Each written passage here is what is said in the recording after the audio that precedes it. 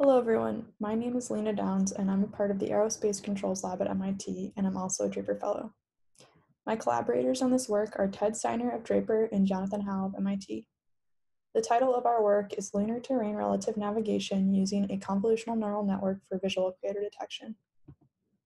To give you an overview of this work, the objectives were to build a crater-based TRN system that reduces state estimation error when orbiting around the moon by one, reducing the frequency of sudden spikes in the estimation error, and two, reducing the average state estimation error overall. For some background, crater-based TRN has been proposed and analyzed in dozens of papers, but it has not actually been flown in space. The key point of weakness and a big motivation for why it has not been flown is the crater detector itself. The contributions of this work are an EKF that uses features from a CNN-based crater detector.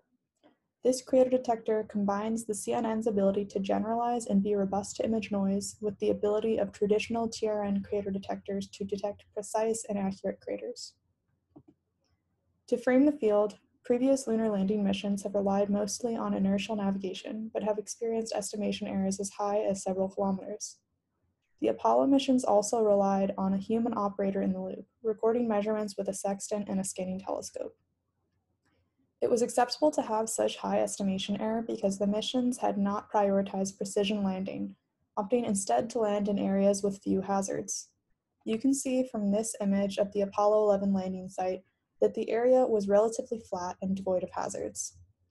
But what about this area of the moon, which is the same scale as the previous Apollo 11 image?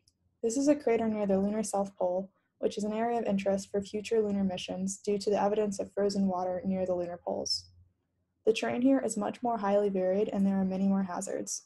Precision landing would be required to safely land somewhere like this. One way to improve navigation precision is through crater-based TRN. Crater-based TRN uses sensors to observe craters beneath the spacecraft. These detections are matched to known craters that are in the crater database on board the spacecraft. Matched craters act as an additional source of measurements to improve navigation precision. Now some related work on crater detectors. DeepMoon is a neural network-based crater detector for lunar elevation imagery. That's imagery that's obtained through radar or LiDAR. It was designed for planetary geology, not TRN. It is made up of a UNet, which is a type of neural net that outputs the probability that each pixel in the input is a part of a crater rim. It then uses template matching to output a list of discrete crater de detections. The downside is that since DeepMoon uses lunar elevation imagery, it relies on radar or LiDAR, which are generally not as cost effective as a camera. CraterIDNet is another neural network-based crater detector that was trained on Martian intensity imagery. It consists of a crater detection pipeline, which outputs detected craters, and a crater identification pipeline, which matches detected craters to known craters. Its downside is that it has a weak requirement for detection accuracy, which makes it not very conservative in the crater detections that it reports. The trinary edge detector is an image processing based crater detector, not a neural network. It was designed for TRN and it works on lunar intensity images. It performs a series of thresholding, edge detection, and edge pairing, followed by ellipse fitting to output discrete crater detections. However, it is sensitive to image qualities and it must be carefully tuned in order to function well. You can see bolded here some of the downsides of these existing crater detectors. The technical gap is a crater detector for lunar TRN that is one, effective, Previous neural network-based crater detectors that were developed for planetary geology do not focus on repeated crater rim detection over a trajectory. Two, reliable. Crater detectors that rely on image processing and were developed for TRN are sensitive to noise effects like the ones seen in this graphic, and which are common in emission but hard to precisely predict. And three, conservative. Many of the existing crater detectors are prone to false detections, which cause EKF diversions. The solution is LunaNet, an effective, reliable, and conservative neural network-based crater detector that reduces EKF estimation error. Its first contribution is that it produces the highest average image persistence of crater detections, which indicates that it is effective. It also does crater detection that is robust to image noise, which means that it is reliable. And it has a low frequency of false crater detection, which means that it is conservative. I'll start with a system overview of our LunaNet-based EKF system. First, we have a camera image that is obtained from the downward-facing camera mounted on a spacecraft as that spacecraft orbits the moon. That camera image is input to a neural network, which predicts which pixels in the image correspond to crater rims. This neural network is based on the network from DeepMoon. It has been warm started on DeepMoon's network, and then transfer learning has been performed with lunar intensity images instead of the elevation images that DeepMoon was originally trained on. In the output image, pixels that are predicted to be part of a crater rim are brighter, that prediction image is input to the image processing system to obtain a list of discrete crater detections in pixel space. The prediction image is a 2D array of pixel values, but what we want is a concrete list of the craters that have been detected, along with their locations in pixel space. To get discrete crater detections from the prediction image, a sequence of thresholding, edge detection, contouring, convex hulls, and ellipse fitting is applied. The neural network plus the image processing system make up LunaNet, our crater detector. LunaNet takes in a camera image and outputs a list of discrete crater detections. That list of detected craters is input to the crater matcher to find matches between the detected craters in pixel space and the recorded craters that were expected to be seen in that image in lunar coordinates. This is done through nearest neighbor matching of detected craters with known craters, and outliers are rejected with affine transform RANSAC. Those matched craters and lunar coordinates are input to the EKF along with the inertial measurements to estimate the state of the spacecraft. Our previous work covered the details of our crater detector, LunaNet, and the matching system. This work focuses upon the input of those measurements to an EKF to estimate, space to estimate spacecraft state. For the EKF, the state vector includes the spacecraft velocity and position, as well as every feature that is initialized over the trajectory and lunar-centered lunar fixed coordinates. The state vector, including the spacecraft position, velocity, and features, is linearly propagated using the spacecraft's measured acceleration. The process noise covariance matrix depends on the database uncertainty, which was determined by characterizing the average difference between where LunaNet detects a crater center and where the database lists that crater center.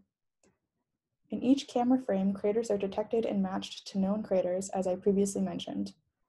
Then each matched crater is appended to the state vector as a feature.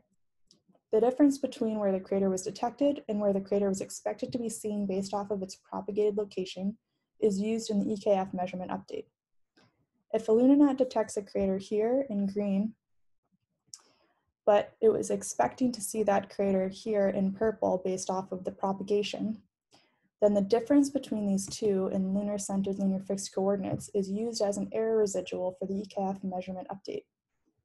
The measurement noise covariance matrix depends on the detection uncertainty, which was determined by characterizing the standard deviation of the difference between the locations of LunaNet's crater detections and the locations of the database craters that they are matched to. Now I'm going to go into some of our results, but first I need to define some terminology. I'm going to use the term detection image persistence. What that means here is the number of times that a crater detection is seen over a trajectory. We detect all of these craters in green in an image, and if we pay attention to the crater detection highlighted in yellow, then we can see that it is detected in this image, and then it's detected again in this image, and it's repeatedly detected four times over this trajectory. That means that this crater detection has an image persistence of four. Image persistence is important because a crater detection with higher image persistence gives the EKF more confidence in the detection, which allows that feature to provide a greater measurement update correction in the state propagation. In this plot, we see a comparison of the average crater image persistence of LunaNet as compared to the trinary edge detector, both with the same crater matching algorithm. They were not normalized for trajectory length, but both detectors were, det were tested on the same trajectories. LunaNet has a much higher image persistence on average. And what happens if we add noise to the images that the detectors are tested on? LunaNet has consistent performance on noisy images, still having double the average image persistence that the trinary edge detector has, and this aids in its EKF performance that we'll see in the future. Another term that I need to define is number of craters initialized. The number of craters initialized refers to the number of unique craters that are detected and initialized in the EKF state vector over the course of a trajectory. So in this first image of a trajectory, Every crater that is detected in green is a unique crater that has not yet been initialized in the EKF. So all of these craters in pink are initialized. And then as the spacecraft keeps moving and detecting craters, these new craters are new and they're initialized. And then these craters are new and they're initialized. And these are new and they're initialized. It's good for a high number of craters to be initialized because it provides the EKF with more features, but these craters need to be good quality detections. If a crater is initialized but then never seen again, there is more uncertainty associated with it and it is more likely to be a false crater detection. False crater detections contribute to EKF divergence because they create false associations between pixel space and lunar coordinates.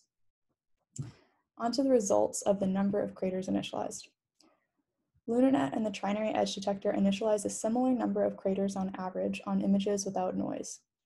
If noise is added, LunaNet is consistent, but the Trinary Edge Detector has a lot more craters initialized. It might initially seem good that the Trinary Edge Detector has initialized more craters, but if we think back to the persistence of the trinary edge detector, it had low image persistence on noisy images. This indicates that the trinary edge detector initializes many craters but never detects them again. This is problematic for a few reasons. For one, these craters that are initialized and then not seen again have lower value because they have more associated uncertainty when they're only seen once, so they're less helpful in correcting the spacecraft propagation. In addition, the disparity between number of craters initialized and persistence suggests that many of the detected craters are poor quality detections because otherwise they would have been detected again. So there's likely more false detections happening with the trinary edge detector. Now, how do these aspects of crater detection affect the state estimation error? Here we have a Monte Carlo simulation of the EKF state estimation error over 100 trajectories using the trinary edge detector. There is a higher average estimation error in both position and velocity, and there is more frequent spiking of the error that we can see here. What I mean by error spikes is that the estimation error is relatively low, but then it suddenly increases.